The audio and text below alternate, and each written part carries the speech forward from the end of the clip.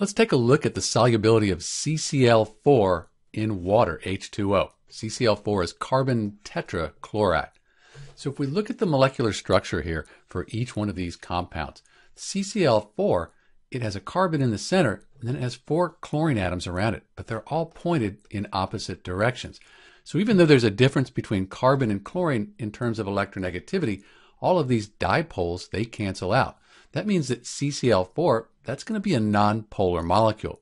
If we looked at the surface of the molecule, that would look like this. An area of red, that would mean that we would have a negative charge. An area of blue would give us a more positive charge. So really around this, there's not much difference. In contrast, water, H2O, it's not symmetrical. These two lone pairs right here, they're pushing the hydrogens down. So we have oxygen on one side and on the other side, we have hydrogen. So there's a big difference in electronegativity. We looked at the surface of a water molecule, that looks like this.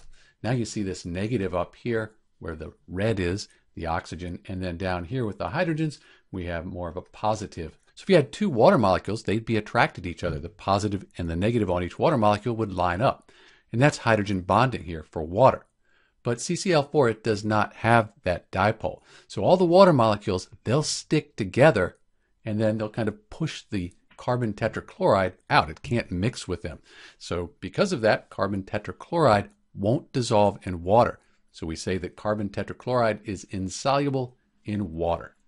We should note that a very small amount of it will dissolve, but still so small that we say that carbon tetrachloride is insoluble in water. This is Dr. B. Thanks for watching.